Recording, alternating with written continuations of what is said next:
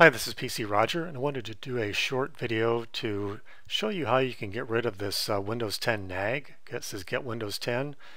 You may not have any intention of getting Windows 10 or you may find out that your particular machine just doesn't qualify. Here on this one, this is actually a virtual machine. It says the CPU isn't supported. Uh, should be for the virtual box. I don't know what the issue is, but uh, bottom line is I want to get rid of this nag notice and you might too. So let's do that. First thing you want to do is go to Control Panel and choose to uninstall a program here under Programs and Features.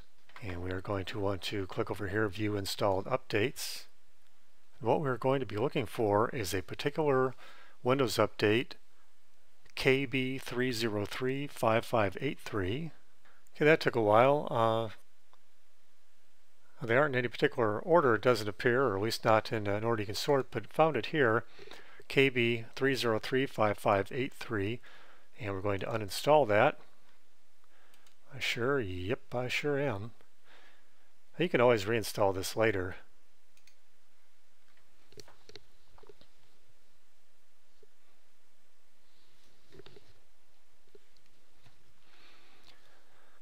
Okay, and I'm going to choose to restart later. And the next thing we're going to want to do is go back to the control panel and we want to make sure Windows doesn't reinstall this update, which it will try to do if you uh, have automatic updates turned on.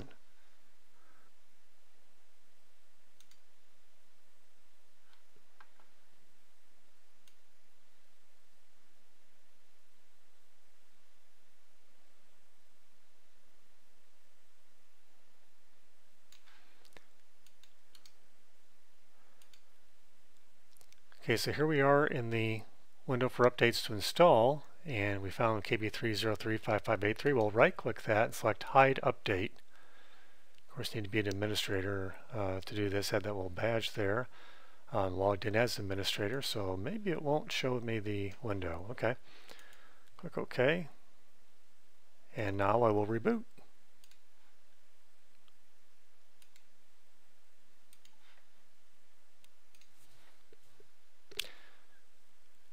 And now the machine is restarting. We'll see if we get the little Windows 10 update icon. Not seeing it there. So that's all there is to it.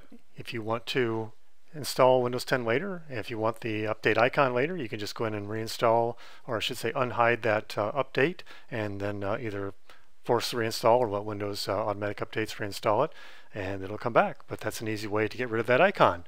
Hope that's been helpful. Please check out my website, pcroger.com. If this video has been helpful, please give it a like, uh, subscribe to my channel. We will see you next time. Thanks for watching.